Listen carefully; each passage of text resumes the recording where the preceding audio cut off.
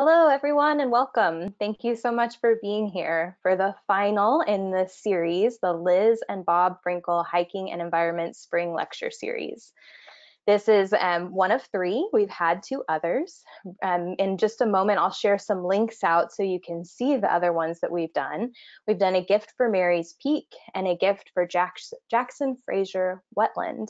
And now today's event focuses on a gift for the Bald Hill Natural Area. This series is co-sponsored by the Corvallis Benton County Public Library, as well as the Mary's Peak group of the Sierra Club. So thank you and welcome from, from both of us. Um, just a quick orientation to how GoToWebinar works. Um, if you've never used it before, and this is sort of the platform we use, and the options that are available to you, you should see a way to um, ask a question um, feel free to send in questions throughout the entire event. At the end, we will have a question and answer portion. Um, so please send any questions. If you um, have just technical questions, you can also feel free to send them in that way, and I can try to help if I'm if I'm able. Um, I think that that's really the main thing that you need to be worried about, other than just listening and enjoying today. So what I'm going to do first, we have um, we have a few people that are going to speak. We have um, Dave Eckert. He's the program chair of the Mary's Peak group of the Sierra Club. Um, he's also going to be joining us um, from his Corvallis Sustainability Coalition um, position as well. So he's going to be kind of wearing two hats today, two organizational hats. We're going to also hear from Jude Geist. Um, he is with the Park, Parks and Rec here at the City of Corvallis. And we'll also hear from Stephen Frenkel, um, the son of Liz and Bob Frenkel. So I can't wait for it to get started. I'm going to go ahead and invite Dave on to join us because he's our he's our first up. Dave.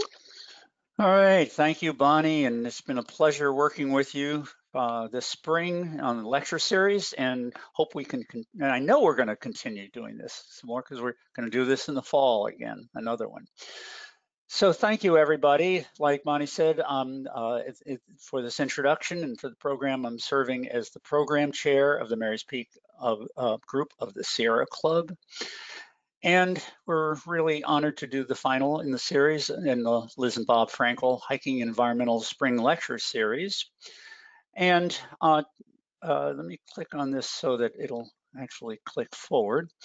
So um, today's is on the Bald Hill Natural Area, and um, Bob, the, and the gift, it's essentially a gift from Bob and Liz Frenkel on this area that we're talking about, the Dunawi Creek Regeneration Project in the Bald Hill Natural Area.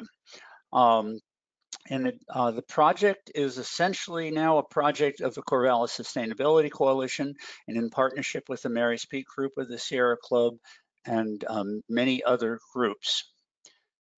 Um, we always start with a land and people and culture acknowledgement of the Ampanefu Kalapuya. We live here in the land called Champenefu.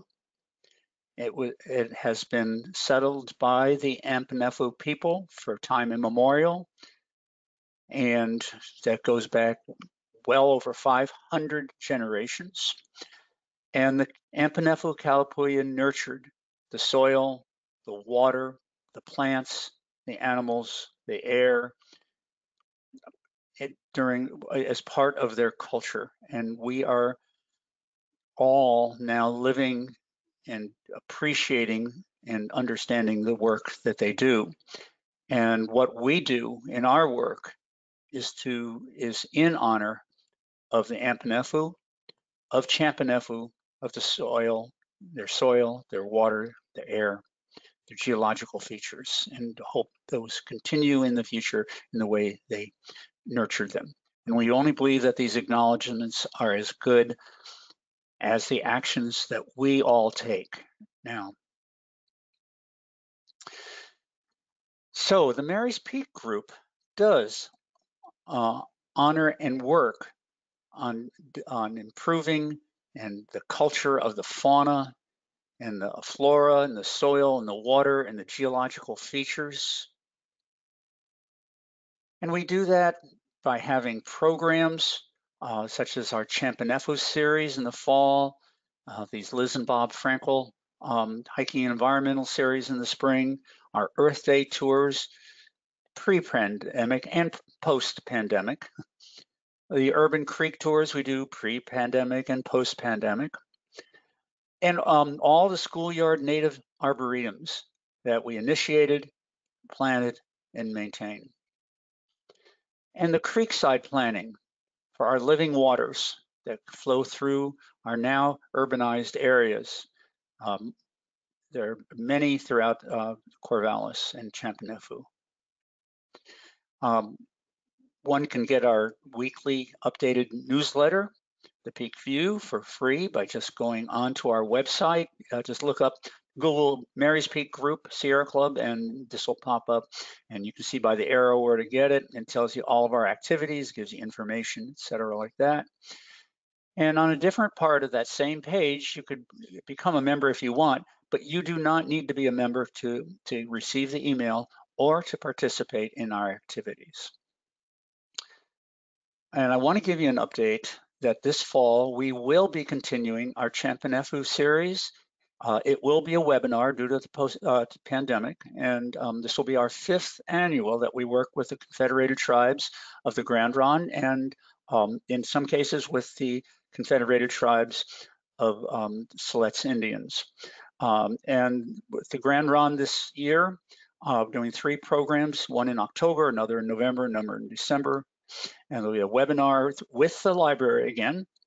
Um, and they'll be on three separate subjects uh, with um, with uh, speakers chosen by the Confederated Tribes of Grand Ronde. Be talking about the trees of, of this area, specifically on Mary's Peak.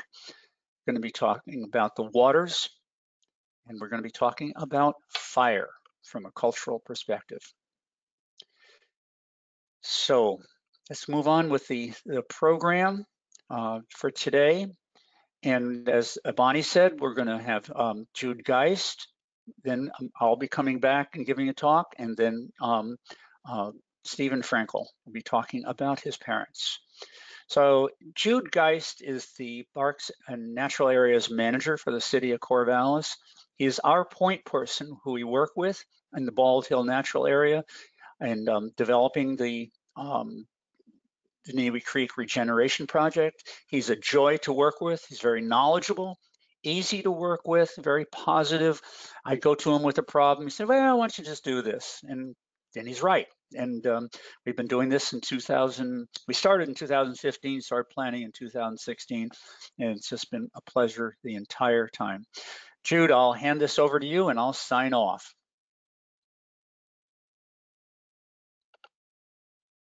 Thank you, Dave. Um, and uh, thank you all for coming to learn a little bit, little bit, more about Bald Hill Natural Area and some of the um, restoration projects going on there that we have. So again, uh, I'm the Parks Division Manager for Corvallis Parks and Recreation Department. And it really has been my pleasure to be in this position for the past eight and a half years. Um, let me go ahead and get my slideshow up and running.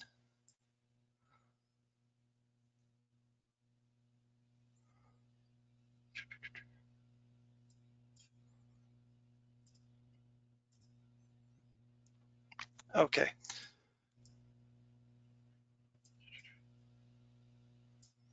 So you should see the slideshow right now. Um, again, I'm the Parks Division Manager for Corvallis Parks and Recreation. I first moved to Corvallis and Oregon in 2000. And I have been working for Corvallis Parks and Recreation since 2012. Now, for me, and I'm sure for many of the residents um, of Corvallis, Bald Hill Natural Area has always been a part of the city's park system and natural areas.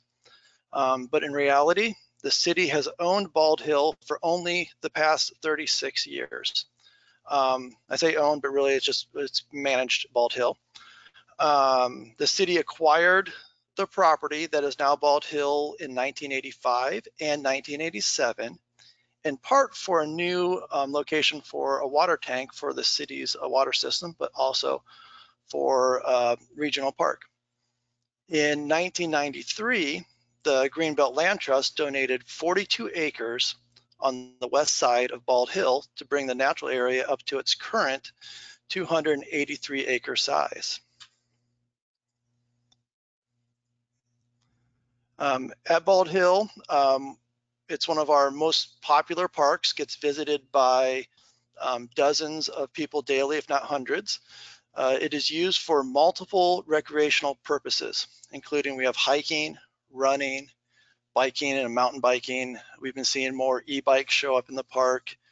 Uh, we have some horseback riding trails, uh, dog walking, and uh, off-leash area behind the barn that's on the south side of the hill. Uh, visitors come to Bald Park um, to also to experience nature and to view wildlife, including we have beaver on site. We've spotted coyotes, the occasional cougar, um, wildflowers, and various other species around the natural area.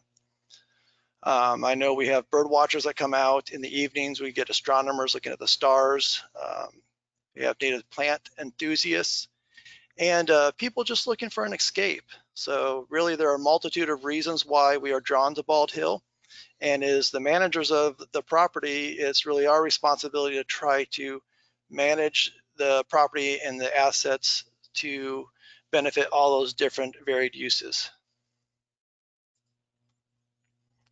So uh, the barn here is a remnant from when the site was in private ownership and from past farming activities. Currently, we use the barn uh, to provide shade and rest spots for hikers and, and uh, park users. It's also one of our rentable spaces within the system.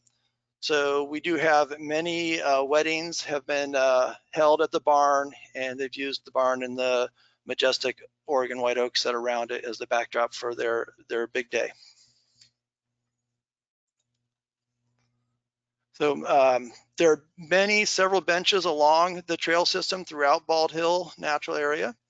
Many of these benches are funded through donations as part of our Parks and Recreation Memorial Program. Um, this program provides the majority of new benches throughout our system.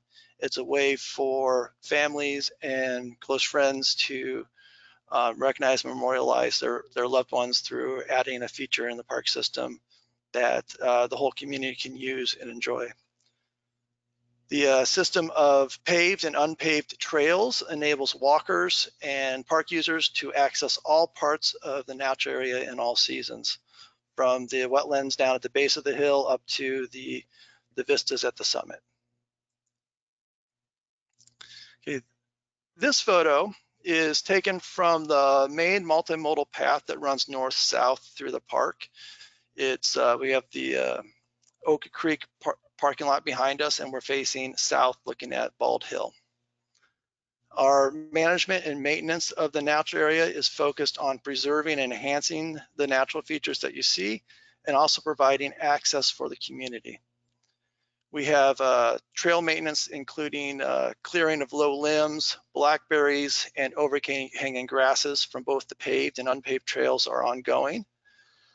In addition, park staff uses spot applications of herbicides to help keep poison oak from growing out into the trail corridors and, um, and causing troubles for our hikers. Uh, we, prior to any herbicide applications though, park staff um, do, do, post signs to alert park users if they choose to stay away. We also research to try and find the lowest um, the hazard herbicides out there that we can that will still control poison oak. Our staff also uses tractors to mow annual fire breaks along the multimodal trail and along the property boundaries to try and keep our property and our neighbors safe during the fire season. This typically is done in June, but uh, one challenge that we are facing is that the fire season seems to be starting earlier and earlier each year with our longer, warmer, and drier summers. That's uh, so pushing us to having to start our our fire season, fire breaks in the system and at Bald Hill a little bit earlier every year. Uh, later in the year, staff mows the open grass prairies like the one you see here in front of you um, to help keep them from succeeding into a shrub community or eventually into woodlands. For the past couple of years, we have also been mowing the agricultural field on the east side of Bald Hill. Our plan though for that field is to hire a farmer to put it back into agricultural production to grow hay on this field starting in 2022. The continued agricultural activity will help to maintain the field uh, free of invasive weeds until we can restore it into a more natural state. Okay, along with routine annual maintenance, our staff also tackles special projects throughout the year. This is a photo from earlier this spring. In this photo, America, one of our parks operations specialists, is uh, reestablishing the inboard ditch along the Summit Road Trail. Water management projects such as this are critical in our mission to keep the trails usable all year round. Um, with the rains we typically have in the wintertime, it's where it's a constant um, battle to keep the trails um, somewhat dry and passable. In addition to projects, we also have uh, implemented seasonal trail restrictions, such as no bikes or ho horses on soft surface trails during the rainy season. These seasonal closures help to minimize wear and tear on the trails. We primarily rely on voluntary compliance with park rules, as such, uh, we're always on the lookout for new ways to get our message out to the public that will encourage park users to follow the rules voluntarily. So here's a close-up of the map of Bald Hill Natural Area. Um, other routine maintenance along this pathway, along this trail system it includes placing gravel, base rock, cap rock to keep the trails passable during uh, wet weather, and also repairing the cracks and, that are forming in the aging asphalt trail system that we have on site. Um, in addition to those trail maintenance, staff also provides sanitation services by pulling trash from our, our trash cans along the trail system and restocking the dog waste bag dispensers throughout the year.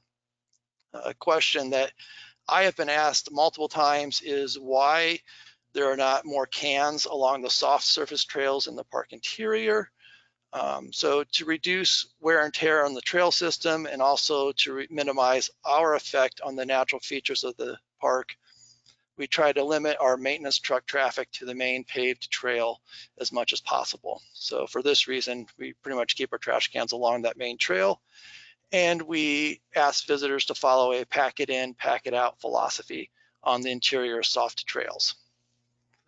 Uh, one of our newest trails is the one all the way in the south in the this photo or in this map.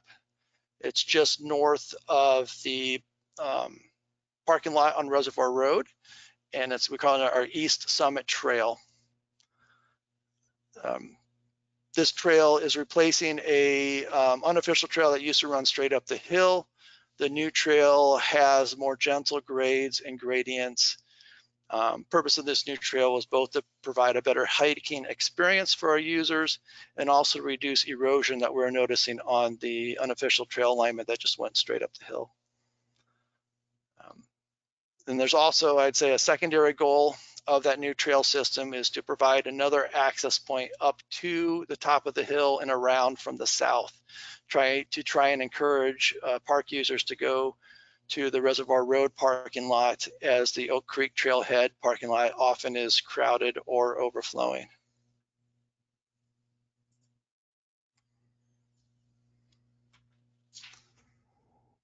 Okay, so um, this slide shows another map with an aerial of the park. Um, Bald Hill Natural Area is the home to many native flora and fauna including three threatened and endangered species. Uh, the threatened endangered species within the natural area include Willamette daisy. We also have Nelson's checker mallow and Kincaid's lupin.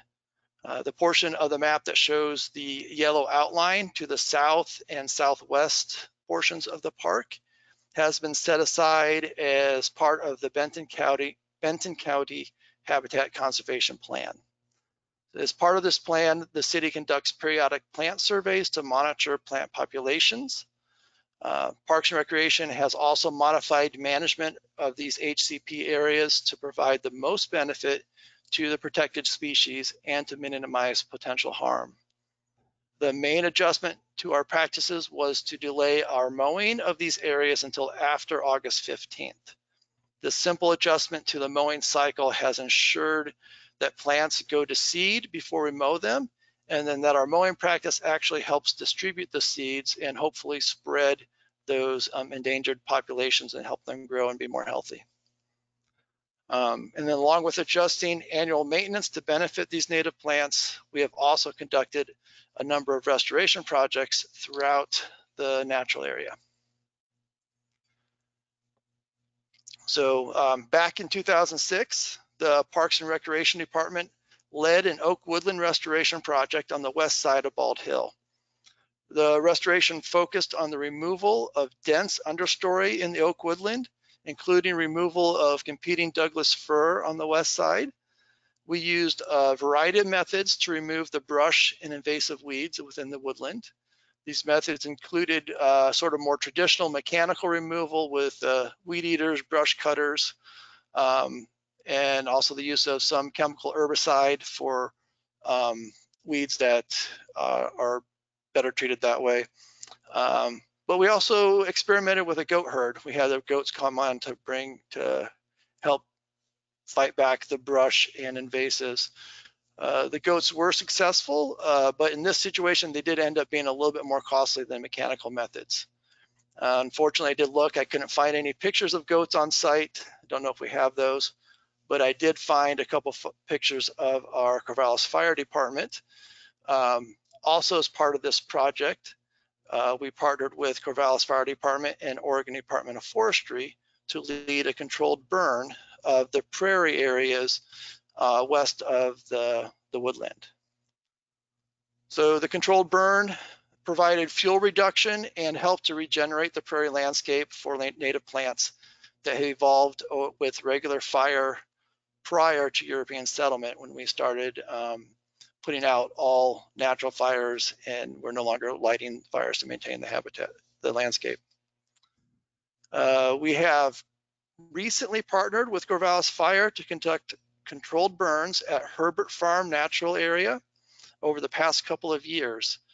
Uh, we have not had any controlled burns at Bald Hill since this 2006 restoration project, but it is my hope that we will be able to use fire as a management tool at Bald Hill coming up in the future.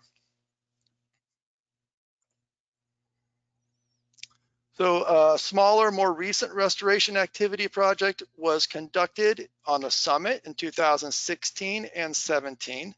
This restoration project included the mastication of blackberries and some shrubs um, in and around some of the larger oaks at the summit.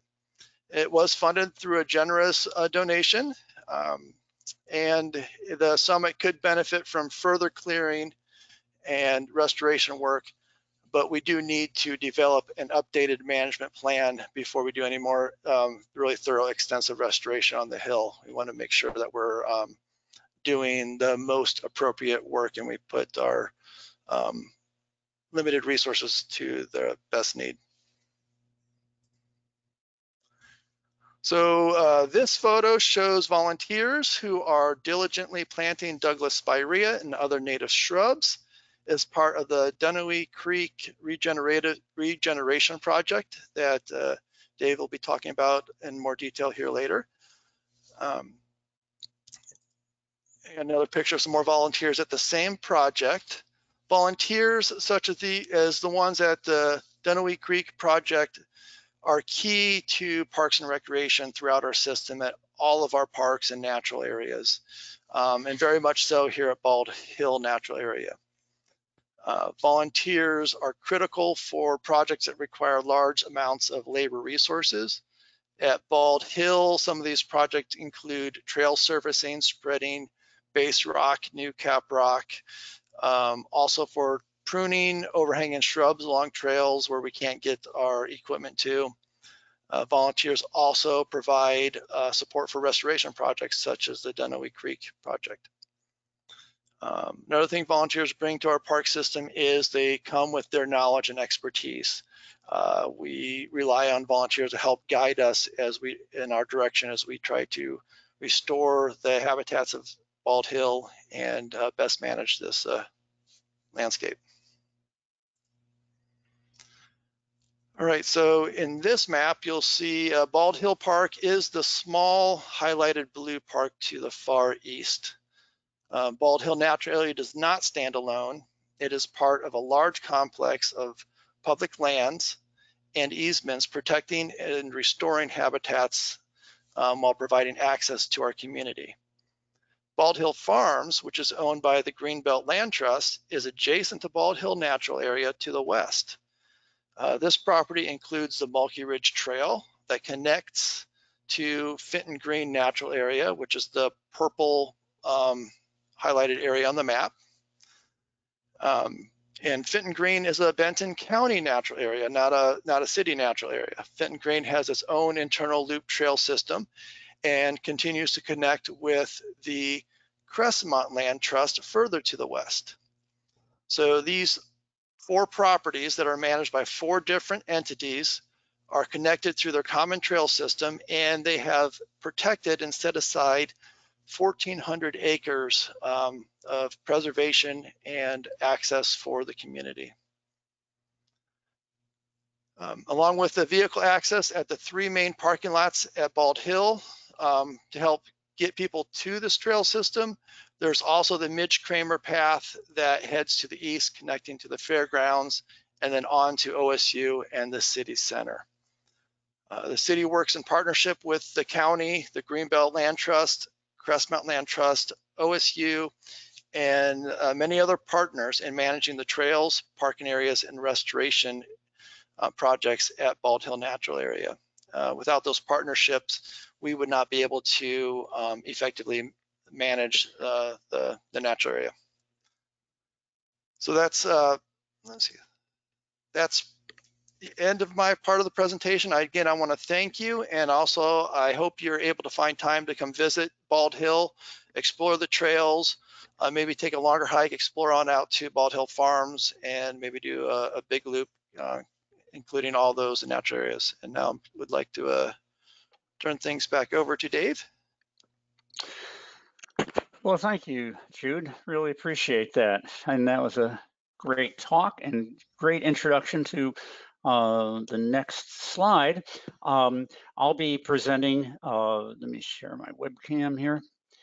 Um, okay, um, so the gift, uh, the gift from the Frenkels and others.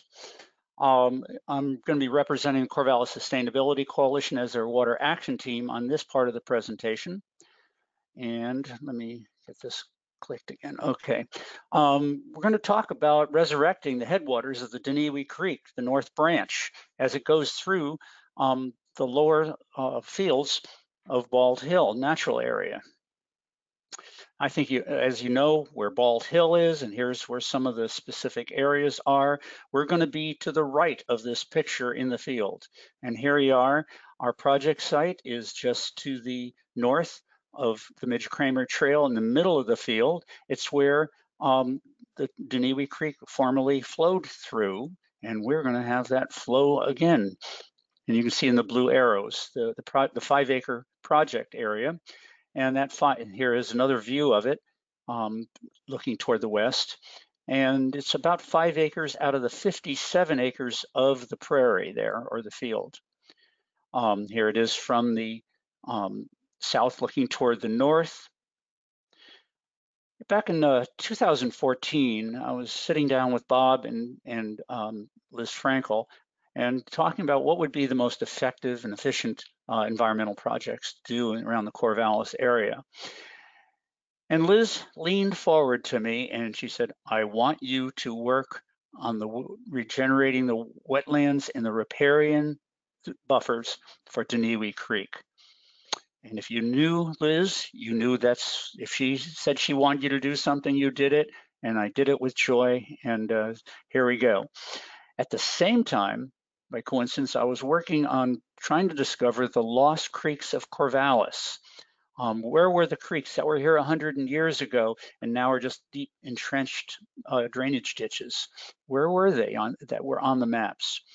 And so I focused on Dunawi Creek and looked at the North Branch and the South Branch, both coming off of Bald Hill, and discovered through the maps places, uh, streams that don't exist as they do now.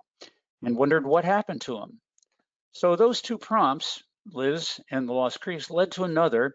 In 2015, I joined a group um, of people, the Trees Eat Carbon group, to uh, plant more trees on public land uh, to sequester carbon. And some of these people, all these people had great backgrounds, John and Anne, and David and Ralph and Fred, uh, and many other people just um, uh, really had a lot of backgrounds.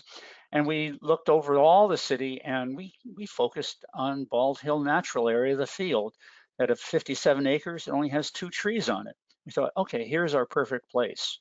So we made a proposal and um, I decided to only focus on five acres of that where the, the Lost Creek that goes through that field was and should be uh, and wasn't. So uh, we went to the city manager and made a proposal and he said, this sounds good, uh, go for it with certain contingencies and um, uh, we'll work, the city will work with you and um, let's see if we can make a go of this. So it was a wonderful experience.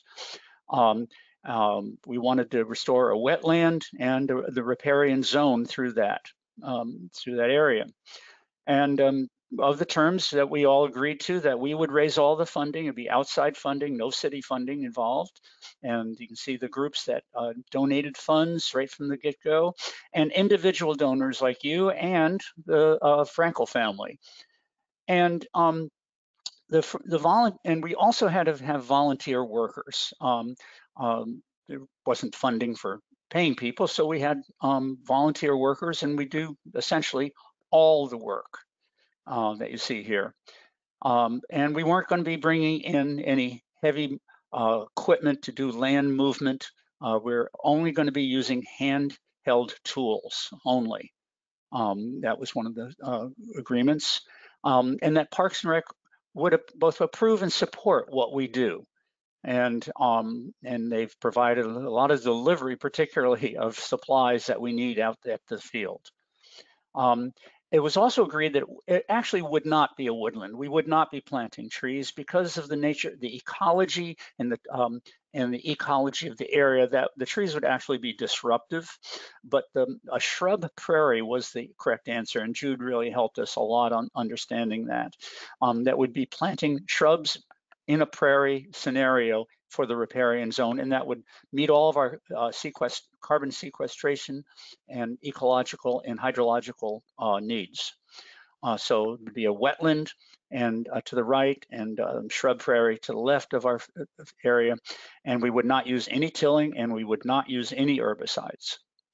Um, we would what we'd do is we'd hyperplant the shrubs and the and the wetland plants, meaning planting them so close together that they come together quickly and densely and snuff out the weeds. So we have two, the two trees in the whole area happen to be our signal trees looking at the two sides of the project, uh, signal oak and a signal cottonwood. And we had a lot of considerations before we started in that we really had to consider, analyze, um, uh, really go back to the Frenkels and a lot of experts and talk to them saying, what do we do with this? And you can see all those considerations. And we had very physical challenges. We had um, well, we'll go over those in a minute, but there's a lot of things that were in our way toward uh, making our reaching our goal. And the hydrology was particularly pro a problem. It was a degraded hydrology that was non-functional, and for all the reasons on the back on the side, we had to mitigate in some way. The berm was the biggest one and the beginning one.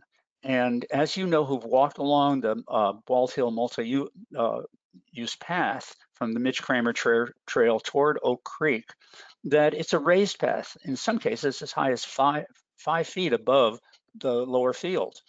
And it creates a hydrological barrier from the water flowing from the hillsides into the field. And um, here's a picture of it here from a distance, the signal oak. Closer, you can see the height of that berm right there with people walking. And um, and in some cases, like where the Dunawi Creek crosses, there's a tiny little culvert there underneath it, which only some of the water can get through some of the time, and it can get plugged. It's undersized by a lot. And you can see from this map where the, uh, the, the blue lines, these are drawn lines. That's not a map portion. The blue lines are drawn. And you can see at the lower two how they're blocked. There's no culverts and they can't get through to this to the where they're supposed to flow to the wetland. They have to uh, be trenched down to the to the constricted um, culvert. Um, so a lot of water is supposed to go through there that can't. Have here a 1936 picture and you can't see it too well here unless we we really went in close. But the berm has been there, according to this picture, since 1936, and we have reason to believe it's been there for well over 100 years. That berm, the city did not put that in. They only put a path on an existing farm road. And if you heard saw about the barn that um, that um, Jude was talking about, that's right up there, and that was there in 1936. Where the the portable toilet is now along the trail, that was a farm. There was a farmhouse there with numerous outbuildings, and here the berm is where exactly where it is now, um, where it impedes the crossing of the water. So we have a one foot wide undersized culvert over 100 years old deteriorating under the path in non barely functional. And we've had geohydrologists um, out there who proposed that we have an eight foot wide culvert in, in place of a one foot wide pipe. And this is what it would look like when it's finished that allows you know um, not only flooding and gravel and debris to get through, but also aquatic and terrestrial species to get through. We've hired these two wonderful um, um, Corvallis businesses to do the engineering design and the construction of it. We're going through the um, um, permitting process and um, and we hope to do this in uh, summer of 2022. Um, we noticed by looking at aerials that some significant changes started to occur between 2004 and 2010. You can see those pictures side by side. On the left, the 2004, you see essentially no evidence of a wetland, no evidence of a stream other than the blue line that was drawn on that map. Um, on the right, you start seeing some dark areas uh, where the arrow is. That's the wetland beginning to reform from its former glory days. And the stream above it is the dark line is meandering down and starting to occur. And something happened in those few years. And that something are the breaking of the underground drainage tile pipes, the agricultural tiles that we didn't know were there. Um, made out of terracotta. And agricultural drainage pipes have been put in all around Willamette Valley for oh, well over 100 years. Um, the old ones are terracotta, the current ones are plastic. And they're put three to six feet down underground and they drain the water that are in streams above them. They drain the water, they suck it out, that are, um, they suck the groundwater down so the roots of the plants can grow for uh, agriculture. Um, they're great for agriculture, hor horrible for uh, for hydrology, horrible for um, purity of the water, and they're uh, horrible for um, native plants and streams. Um, you can see from aerials these green lines where the green arrows are across the field. As we go across here, you can see multiple green lines. Those are where the tiles are. And they're really, and they're starting to decay and fall apart and the wetlands and the, some of the drainage is beginning to occur. And in 2016, we found our first sinkhole. Now that was evidence of the ag tiles. That was our first evidence that there definitely were ag tiles there. And um, so we sent out some OSU students to be our sinkhole explorers in 2017. And they went out on their exploration with some tools. And their goal was to find the tool, the pipes that are uh, essentially four feet down and they'd find a little sinkhole and they dug it bigger. This is the larger one that they dug. And they eventually went down four feet and above the, the dry, hard clay, almost cement-like uh, uh, soil, below that, there was the stream flowing through the pipe that was draining um, the all the water that was in the soil. And um, they broke them up and they plugged uh, Portland cement above and below that to prevent it from flowing again. And look at this uh, student that's in the hole down in the middle. And um, he's a tall person And look how deep he is. And that's how deep he dug. And notice the students in the background, you can barely see them, uh, digging in another one, an existing sinkhole, just digging it deeper and plugging up the whole the, the tiles. Uh, and then we flag it afterwards, but we leave the sinkhole there because they turn into vernal pools that are critical to the ecosystems of a riparian zone and a wetland. And you can start to see how the sinkhole, that uh, this was the first sinkhole we found in 2016. Um, this uh, picture uh, was taken this year, and, and all of a sudden it's teeming with life. Look at those tadpoles in there, native tadpoles, beetles, aquatic insects, um, uh, used by birds and, and uh, amphibi amphibians of many kinds. Um, and when we, as we open the culvert and begin to get the stream flowing again, and we break up the ag tiles and stop that flow uh, in, underneath the ground, we have to be concerned about the flow, how it could disrupt, how it could um, erode the soil away. And so what we're doing is we're planting shrubs in the way of the stream, putting logs in the way, we're, um, and we're putting in vernal pools. And, and we're throwing logs down there um, to do all the things that beaver do, is reduce incision, uh, erosive incision, widen the flow, diversify the flow, and improve the habitat. And the soil, uh, when we work with that, it's, it's called vertisol. It's a high clay content that swells and shrinks with, with moisture and it cracks, it, it, it destroys the roots, it's nasty stuff. It's very degraded and abused from the 150 years of agriculture.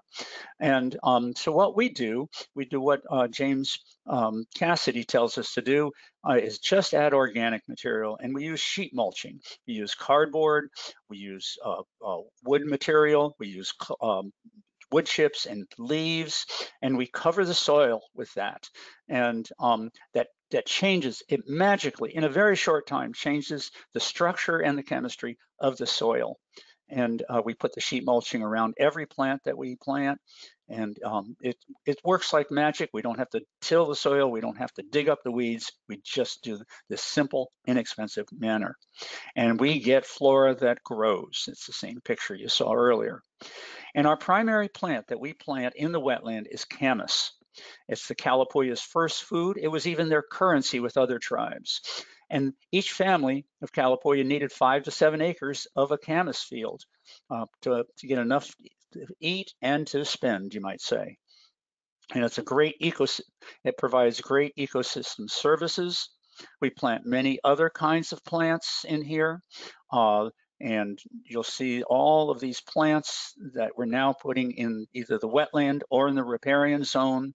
Um, they're already in. We have 30 different species that we have already uh, installed into the area. Juncus is one of the primary wetland plants along with camas. Um, it's uh, very uh, great for pollination and for uh, hydrology. And uh, some are edible, but we're going to be putting in some new plants in November of 2021.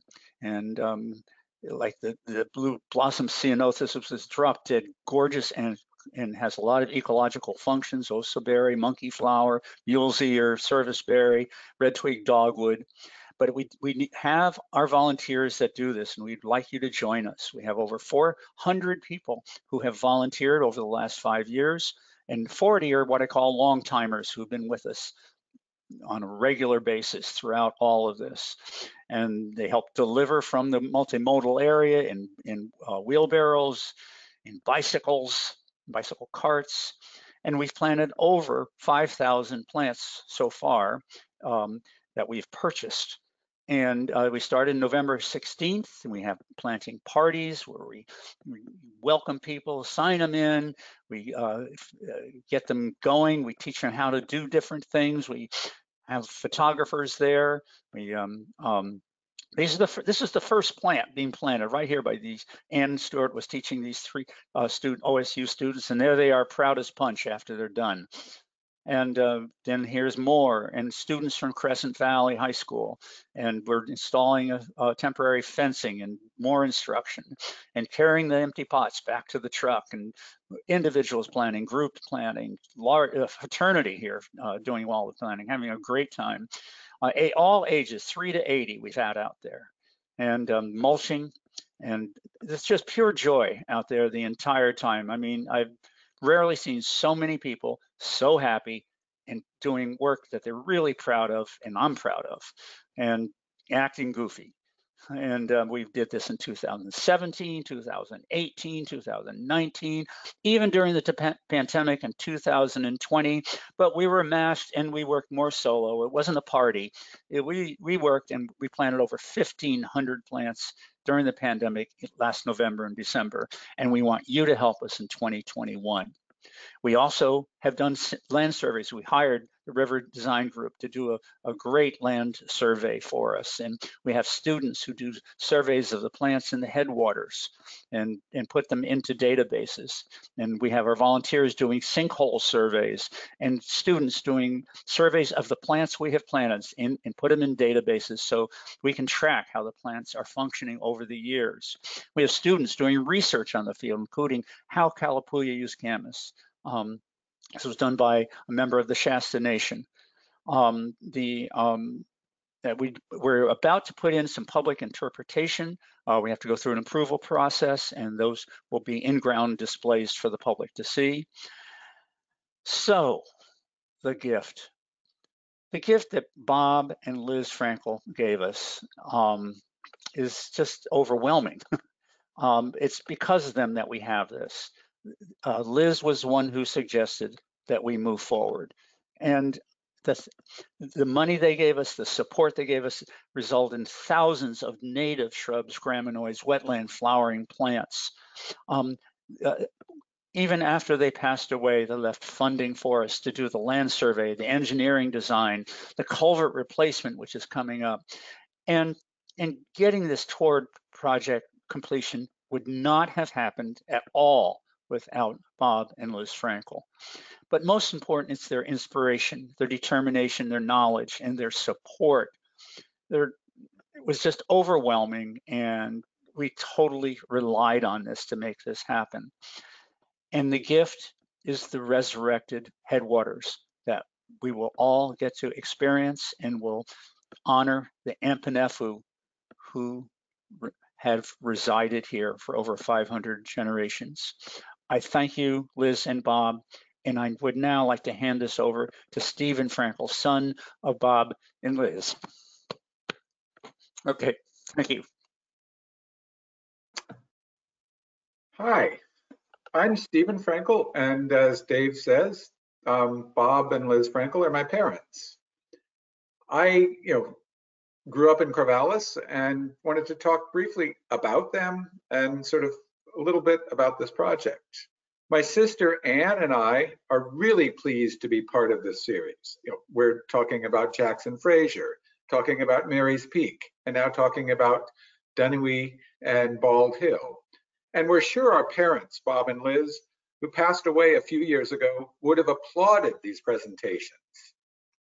And really, thanks so much to Dave for his incredible work, his multiple hats, and you know, for putting this together, and more, more importantly, for his vision for a more livable and sustainable Corvallis.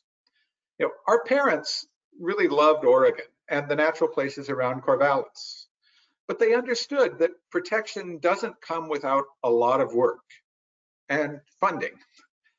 They moved from California in the early 1960s, and you know, you know, my dad was a professor at you know, Oregon State. He taught in the geography department, and my mother was an environmental activist. And they most definitely did not want to see, you know, more dam, more damaging clear cuts, or valleys such as the South Santiam dammed, or unnecessary power plants built, or hills covered with little boxes made of ticky-tacky. They were early supporters of Senate Bill 100, you know, the original land use planning bill. And when places were threatened with unneeded development. It was all hands on deck. Working, they would, you know, and they knew that you had to then rally the troops. You know, they would work working with the Sierra Club, League of Women Voters, Greenbelt Land Trust, 1,000 Friends of Oregon, you know, many organizations. And they knew that you had to write letters, submit testimony, convene experts, be the experts, and convince land use lawyers to help you for free And they knew the power of LUBA, the Land Use Board of Appeals, you know, Liz especially. So livability and sustainability, even if they may have been skeptical of those terms, were their passion. Now, living in Corvallis, they were always interested in strategic results and strategic oriented projects such as Jackson Frazier or the protection, protection of Dunawi Creek. And they understood the vital importance of saving places like Bald Hill so they could be enjoyed for everyone in Benton County. Now, by, before my mother died, we talked quite a bit about what they wanted us to do with their donations because they had already decided they wanted to give something back to Benton County. And if you've ever met my mother, you you know that she was generous with her opinions. She let you know what she thought. And she let us know in no uncertain terms that whatever projects the money went to, it must make a difference. And while, but at the same time, while they often thought in political terms, both parents loved exploring and they were more than just envir armchair environmentalists. And they loved Bald Hill. I didn't actually know that much about it. I grew, you know, grew up, I rode my bike a lot, you know, and you know, a lot as a kid. And, you know, I can remember biking up Reservoir, Reservoir Road and looking off to the right as I'm, you know, heading toward Philomath and seeing, you know, kind of a wooded hill and passing by the old lumber yards and lumber mills, but didn't really think much of it. So it was really a pleasure to discover this place anew on trips back to Corvallis. And on almost every trip home, they took us for walks around the area. Most of the time, it involved my dad crashing through the undergrowth, trying to avoid the poison oak, with some luck, and commenting, well, actually lecturing was more like it, on the history of the role, you know, his historic role of Native Americans burning in, to maintain the oak savanna and the prairies, or, or what it meant to tile a field, you know, and you know, he would really, really have liked to see the wetlands coming back, you know, and looking at vernal pools, you know, another favorite uh, lecture topic of his. You know, as kids, we spent a lot of time listening. And, you know, while they were never ones for hard surface trails, the trail from Reservoir Road to Oak Creek was a place that allowed them in their latter years to walk around, even using walkers. So Anne and I are so happy to see this Dunawi restoration project go forward. And I'm sure my mom would now be asking, okay, so what's next? What are you gonna do next? Well, thank you, and thank you. So, and now we'd like to turn this back to Bonnie, and I guess there may be, if there are any questions, she'll be able to facilitate this. Yeah, thank you so much, Stephen. And I want to invite um, Dave and Jude to join us back on screen. This is a great time for the audience to get questions submitted, so or comments even. I'm happy to share comments with our presenters today. If you have a question for someone specific, feel free to um, call that out. Um, I do have just a few um, questions to get us started. Um, Terry has a has a comment and a question, and they say it's great to see how the four different agencies have been working together to protect open space and create access through connected trails. So, thank you to each of your agencies for doing that, all four of the agencies for doing that. And then um, they wondered, can horses ride on the trail connecting all four of the properties? Of those properties. I think that I think this was when I think Jude mentioned this. Yeah, um, I'd have to double check for the Greenbelt Land Trust in Benton County, but I don't think that they would be able to go across like on the Mulkey Ridge Trail. Um, definitely they're allowed on the Bald Hill portions of the trail, and I believe on um, the flat loop at Bald Hill Farms. But I can double check that. Great. Thanks. And then Arlene has some has some feedback and a question that I think would be interesting to talk about. So Arlene says there has been constant bike riding on unpaved trails during the closed season and bike use is increasing each year. Now those heavier e-bikes are adding further soil compression and erosion of the trails. There are only a few posted signs, but they um, they think it's not really that visible to the bikes. Um, what is your plan on addressing this problem? Or do you guys have a plan to address this problem? I think this is directed towards jude. Just sure if it's it's both with, with bikes or primarily e-bikes. We have for e-bikes, we have been working with OSU just to sort of look into this new recreational um, opportunity that people have and seeing what are the impacts, um, pro or con, uh, for e-bikes in, in, a system and where would you want to allow them. Currently, they're not, uh, we don't have anything allowed. It could be like a motorized vehicle, but we know they're out there. Um, probably just, just additional signage. Uh, it's difficult with the signage. It's, it's more of finding other ways than just signage because uh, just having a sign that says you're not allowed to go here with your bike without a further explanation on why doesn't necessarily help. So we're looking at other op options such as information on the website, um, our uh, Facebook pages, ways to get the the reasons why we are we we close the trails to bikes and horses in the winter. And I think education will get us there uh, at least better. Great, thank you. Laureen asks, what kind of cooperative work has been laid in place for the Dunawi, Creek as it flows into the private land to the east? Um, I can start that. Um, none to my knowledge. I, uh, um, our that would be a question that Liz would ask also. what's next? Well, we're still working on what's first. Uh, we still have a ways to go on this project. And um, we do not intend to have any additional water flowing into the a private land downstream. That's not what we're trying to do. We're trying to get additional water into the field and we're trying to spread it out and have it absorbed and being used.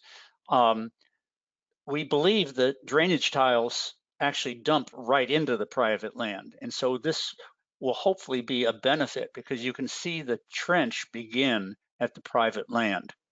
And by trench, I mean, it's not something you want. And so by what we do, we think it will be beneficial to the private land downstream. Um, I, this that land may develop sometime. There's nothing to prevent that. And um, by having the stream upstream that we're that we're putting in place will serve to protect the entire stream corridor as development occurs. So we'll start the conversations at a later time when we're done. Great, thanks. Um, Annette asked a question that I have also. How can people find out about when there are work parties at the regeneration site? Oh, I'm glad that Annette asked that. um, so um, I, you can contact me. That's the easiest way. Um, um, I'm at D Eckert, D-E-C-K-E-R-T, at willamettewatershed.com. And um, Willamette Watershed, you have to know how to spell Willamette to see how Oregonian you are. So Willamette Watershed as one word.com.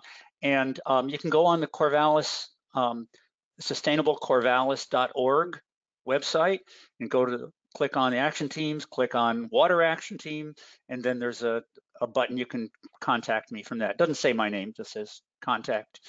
And you can get on our e-list. I send out an e-list of work to parties every single week. And it's not just for this project. We have uh, 15 different projects around town that we work on. So there you go. That's great. And if it's okay with you, Dave, I could include your email in the follow-up um, in the follow-up email that will go out to everybody in 24 hours. So, so everybody everybody will get that then. It's mm -hmm. great. Um, let's see if we can get through maybe one or two more of these.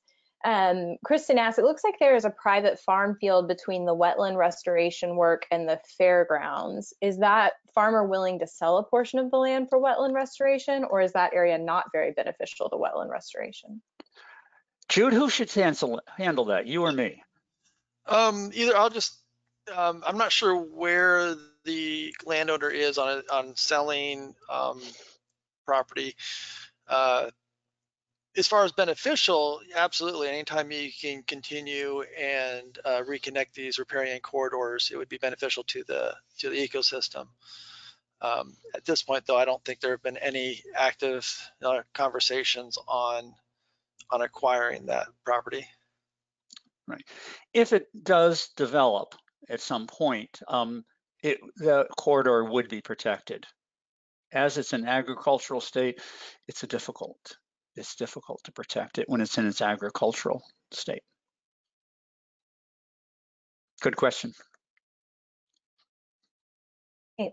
Well, it is one o'clock now, and that really did wrap up our questions. We had another one, but I think we tackled it in another answer. So I think that's that's all the questions we've got. Um, was there anything else anybody wanted to say before we sign off?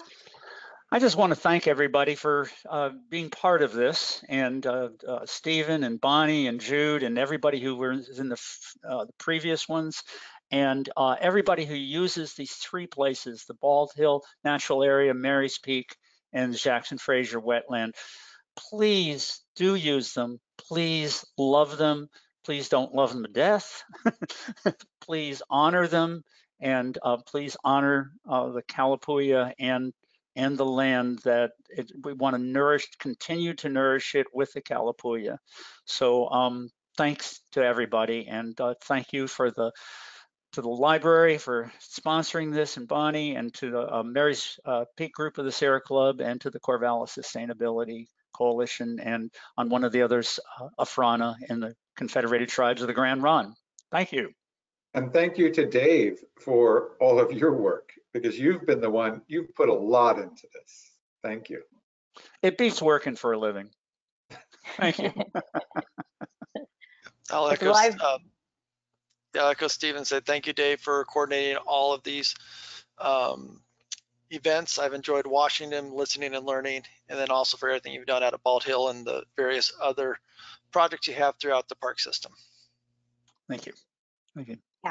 And the, the library just shares a huge thanks too. We're just so grateful that we could be a co-sponsor of these really ama- this amazing series. I learned so much, and um, I'm so grateful to the Frenkels for for everything they've Mm. done. And Oh, they, yes. honestly, they they've taught me so much. So it's pretty pretty amazing. So thank Yeah. you. And we'll see you all at the Champanefu Lecture Series in the fall with the library. Thank you. Can't wait. Okay. Okay. Absolutely. Bye-bye now. Thanks everybody. Thank you. Have a great day. You too.